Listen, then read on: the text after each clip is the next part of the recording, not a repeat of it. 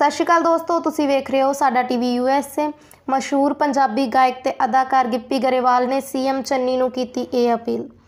ਦੱਸ ਦਈਏ ਕਿ ਮਸ਼ਹੂਰ ਪੰਜਾਬੀ ਗਾਇਕ ਤੇ ਅਦਾਕਾਰ ਗਿੱਪੀ ਗਰੇਵਾਲ ਦੇ ਵੱਲੋਂ ਇਸ ਸਮੇਂ ਆਪਣੀ ਨਵੀਂ ਫਿਲਮ ਪਾਣੀ ਚ ਮਧਾਣੀ ਦੀ ਪ੍ਰਮੋਸ਼ਨ ਕਰ ਰਹੇ ਨੇ। ਦੁਬਈ ਵਿੱਚ ਇਸ ਸਮੇਂ ਉਹ ਮੌਜੂਦ ਹਨ। ਜਿੱਥੇ ਉਹਨਾਂ ਵੱਲੋਂ ਆਪਣੀ ਇਸ ਫਿਲਮ ਦੀ ਪ੍ਰਮੋਸ਼ਨ ਕੀਤੀ ਜਾ ਰਹੀ ਹੈ, ਉੱਥੇ ਗਿੱਪੀ ਗਰੇਵਾਲ ਦੇ ਵੱਲੋਂ ਦੁਬਈ ਤੋਂ ਆਪਣੀ ਫੇਸਬੁੱਕ ਤੇ ਲਾਈਵ ਹੁੰਦਿਆਂ ਜਿੱਥੇ ਆਪਣੀ ਨਵੀਂ ਫਿਲਮ ਪਾਣੀ ਚ ਮਧਾਣੀ ਨੂੰ ਲੈ ਕੇ ਬਹੁਤ ਸਾਰੀਆਂ ਗੱਲਾਂ ਕੀਤੀਆਂ ਗਈਆਂ। ਉੱਥੇ ਉਹਨਾਂ ਆਪਣੇ ਫੇਸਬੁੱਕ ਪੇਜ ਦੇ ਜ਼ਰੀਏ ਪੰਜਾਬ ਦੇ ਨਵੇਂ ਚੁਣੇ ਗਏ ਮੁੱਖ ਮੰਤਰੀ ਚਰਨਜੀਤ ਸਿੰਘ ਚੰਨੀ ਨੂੰ ਵੀ ਖਾਸ ਅਪੀਲ ਕੀਤੀ ਹੈ।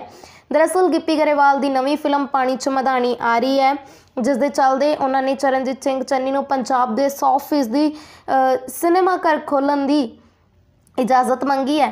ਗਿੱਪੀ ਗਰੇਵਾਲ ਨੇ ਵਿਦੇਸ਼ਾਂ ਦੇ ਵਿੱਚ ਖੁੱਲੇ 100% ਦੀ ਸਿਨੇਮਾ ਘਰ ਦਾ ਹਵਾਲਾ ਦੇ ਕੇ ਚਰਨਜੀਤ ਸਿੰਘ ਚੰਨੀ ਨੂੰ ਆਪਣੀ ਅਪੀਲ ਕੀਤੀ ਹੈ ਕਿ ਵਿਦੇਸ਼ਾਂ ਦੀ ਤਰ੍ਹਾਂ ਪੰਜਾਬ ਦੇ ਵਿੱਚ ਵੀ 100% ਦੀ ਸਿਨੇਮਾ ਘਰ ਖੋਲੇ ਜਾਣ।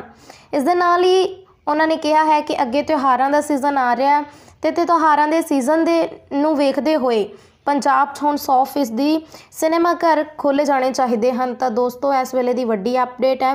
ਇਸੇ ਤਰ੍ਹਾਂ ਦੀਆਂ ਕੁਝ ਨਵੀਆਂ ਖਬਰਾਂ ਸੁਣਨ ਦੇ ਲਈ ਵੇਖਦੇ ਰਹੋ ਸਾਡਾ ਟੀਵੀ ਯੂਐਸਏ ਤਦ ਤੱਕ ਲਈ ਇਜਾਜ਼ਤ ਦਿਓ।